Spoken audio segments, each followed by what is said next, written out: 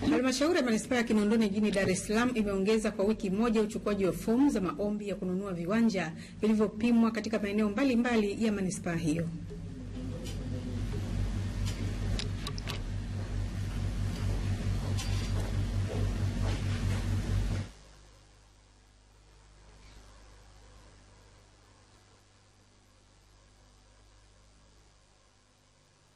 Mkurugenzi wa manispaa hiyo Stephen Katemba amesema uamuzi huo unalenga kutoa fursa zaidi kwa watu wanaohitaji viwanja hivyo kwa ajili ya matumizi mbalimbali ikiwemo makazi, biashara, huduma za jamii na viwanda.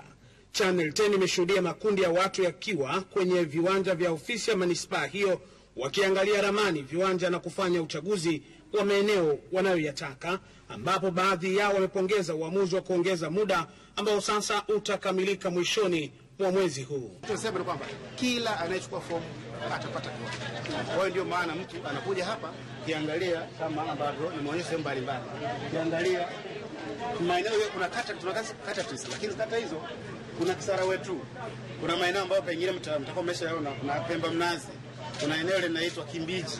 Yote haya sasa hivi pamoja na Somangira ndio maeneo ambayo sasa hivi tuna tunapima viwanja vyetu. Sasa mtu anachofanya ni nini?